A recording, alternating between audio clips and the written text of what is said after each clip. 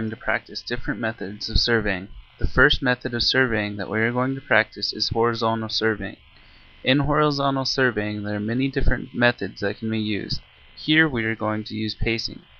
Pacing is just like it sounds, walking a known distance and counting the number of paces it takes to traverse this distance.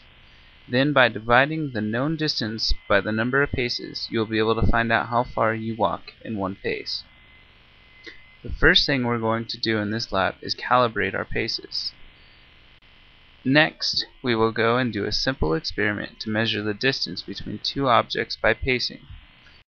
Finally, we're going to compare the distance found by pacing with measuring the distance with a tape measure. Now let's head out into the field and test this technique.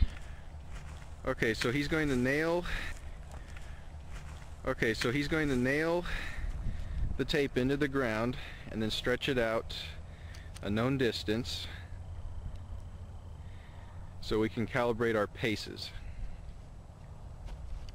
And how far are you going to pull it out there? 30 meters. 30 meters. Alright.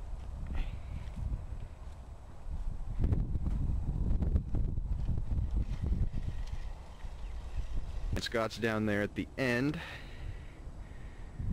So now we have our 30 meter distance. So Scott has his, the back of his heel lined up at the zero mark and he's going to start walking from that position. So off he goes. Four, five. And you just count for him just in case he loses it. Loses count.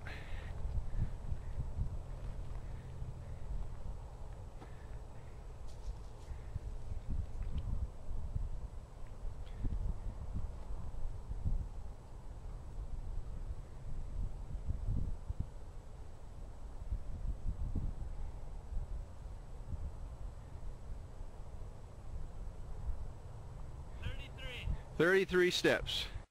Scott is going to do it again to see if we get the same number just so we can have better consistency in our measurements. So he'll start again.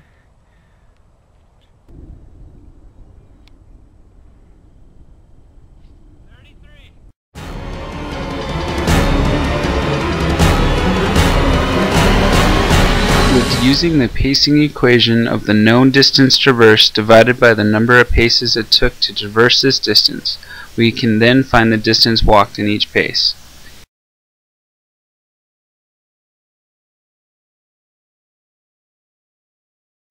In the field, we walked the distance of 30 meters, and to walk this 30 meters, it took 33 paces. That means that we walked 0.91 meters per pace.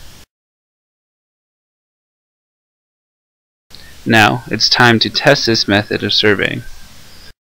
In this simple experiment, we're going to measure the distance from that tree over to that tree. First, we're going to do it by pacing, and then we're going to go back to check our accuracy by using the tape measure. He's going to pace it now.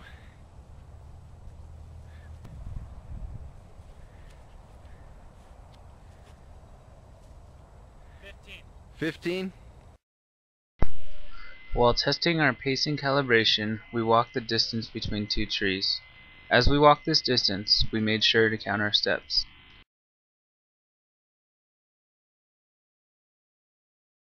Then, with knowing the distance traversed in one pace and the total number of paces it took to go across this distance, you will then be able to find the total distance between the objects. In this experiment, we took 15 paces. And since we walked 0.91 meters per pace, if we multiply the two numbers, then we will get a total distance between the two trees. In this simple experiment, the distance between the two trees comes out to be 13.65 meters.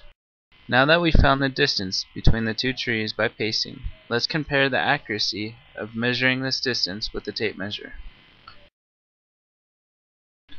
In order to measure the distance between two objects with the tape measure, we must first secure the end to the ground. Next, we will stretch the tape between the two objects. Finally, we will read the tape.